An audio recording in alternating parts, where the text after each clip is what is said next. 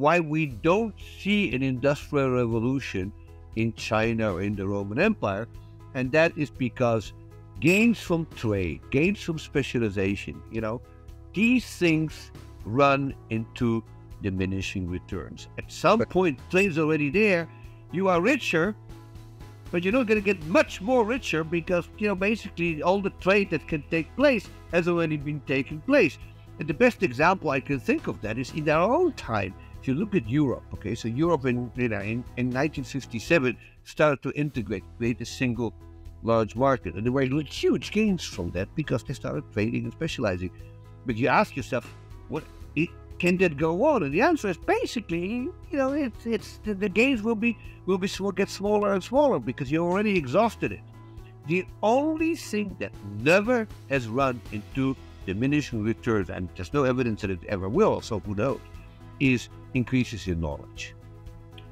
And you know, every time we think, oh, by now it's over, everything that can be invented has been invented, and then and then all of a sudden something new pops up on the horizon. You know, the latest thing, the last year, everybody's talking about is artificial intelligence. I can actually make a list of at least ten areas that don't get the kind of publicity that AI has been getting, which are at least as important, including breakthroughs in material science, you know, right. breakthrough in, in, in molecular biology. I mean, there's things, yeah. there's things going on that are just mind-boggling.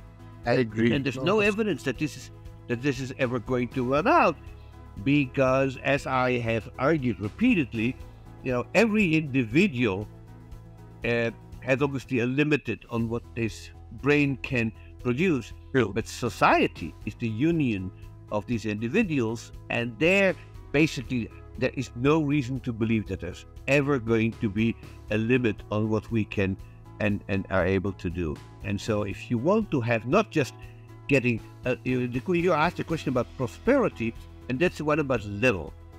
But of course, the historian is interested in the level and in the rate of change. And the rate of change is basically, I think, determined by laws of diminishing returns. And the only area where these laws don't seem to apply, I say seem because who knows, but they don't seem to impl- apply is in the expansion of knowledge. And yeah. what is amazing is that, particularly this is true for the Roman Empire, there was almost no technological change under the Roman Empire. They were literate, they were smart, they were well organized, but we see almost no change. I mean, if you push me hard enough, I'll come with some, some example, but it's it's fairly rare. It's better in China because, particularly in the Song Dynasty, there are some major breakthroughs.